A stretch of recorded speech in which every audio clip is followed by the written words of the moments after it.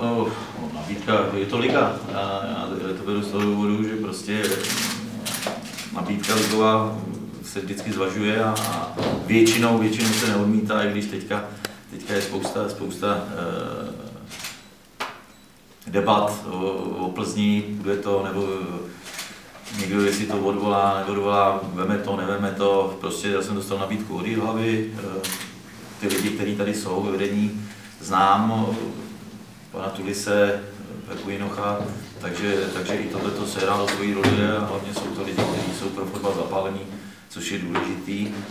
Takže eh, víte, jak je to, byl jsem doma teďka po, po eh, určitou dobu, takže už mě svrbily, svrbily nohy a já se na tu práci těším, samozřejmě je zavazující, protože, jak to tady říkal eh, sportovní ředitel, prostě ty hlavaré o záchranu jsou poslední a my se budeme snažit s, s těma lidma a hráčema, aby prostě tady ta ligová příslušnost zůstala, protože si myslím, že stadion je tady ligový, právník, nadligový, takže nic víc vám tomu nemůžu říct.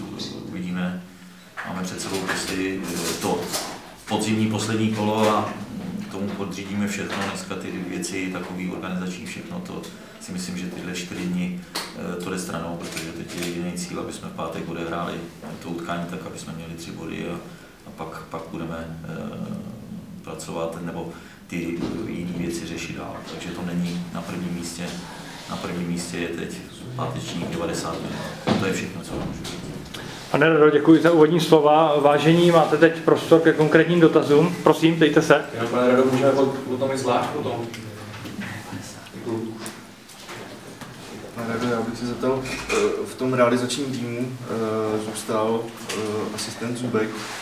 Toho jste si vyžádal vy, nebo to byl pokyn od vedení týmu, že musí Ne, já, já jsem dostal zprávu, že to, co asi proběhlo v Česku, že trenér a asistent byli odvolaný, nevím, to není moje, Zubek tam zůstal nebo je v kabině, takže normálně s ním budu spolupracovat a uvidíme, uvidíme jak to bude dál. To, to není věc moje, samozřejmě to musíme vyřešit všechno s představenstvem, s vedením klubu. Ale já si myslím, že tohle v současné době, jak jsem říkal, není na prvním místě. První místě je pátek 18 hodin poslední ligový kolo. Děkuji. Další otázky?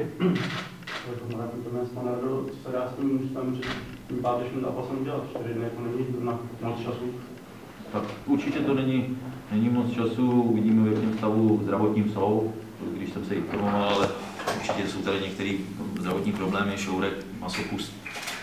Uvidíme, musíme poskládat jedenáctku tak, aby, aby jsme to vybojovali. Teď asi nejde, že, že najednou to půjde všechno optimálně. Prostě ten zápas poslední, který je, potřebujeme vybojovat, bojovat, uhrát i s podporou diváků, aby prostě jsme se snažili e, těch bodů co nejvíc tady.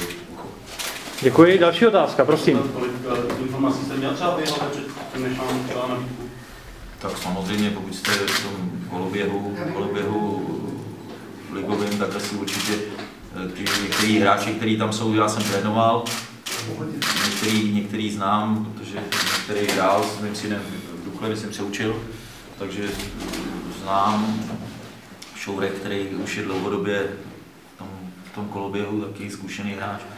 Menca Kloušek není, není potřeba asi mluvit, takže, takže z tohohle, z tohohle pohledu já si myslím, že, že v tomhle tom není problém. Ten fotbal eh, není zase tak složitý a, a ty hráči, a trenéři, pokud, pokud já jsem hrál fotbal, tak se to moc neliší. Dneska mají víc možností, jo, takže z tohohle pohledu nevidím po této stránce problém.